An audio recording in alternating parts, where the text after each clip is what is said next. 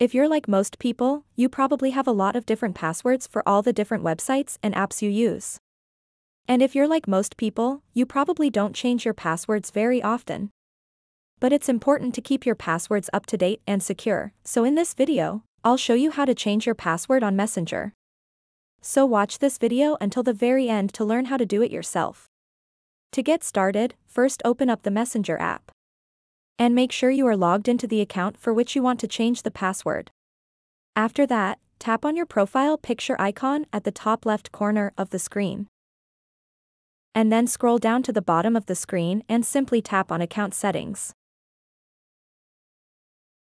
And it will load up this page. So once you are on the Settings page, tap on Security and log in.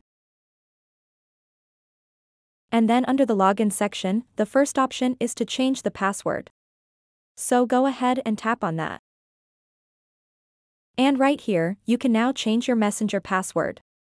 So, first, type in the current password, and then type in the new password. Once you do that, retype the new password and then tap on Save Changes.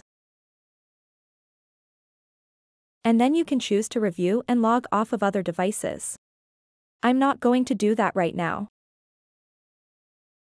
And now you have successfully changed your password on Messenger.